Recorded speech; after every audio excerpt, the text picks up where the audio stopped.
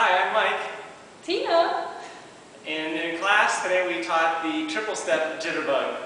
And it goes like this. Rock, step, triple step, triple step. And we did all of our basic moves just with triple steps. So here was our routine. We did the basic, triple, triple. We did a send out turn, triple, triple, and then we did underarm turns. Triple,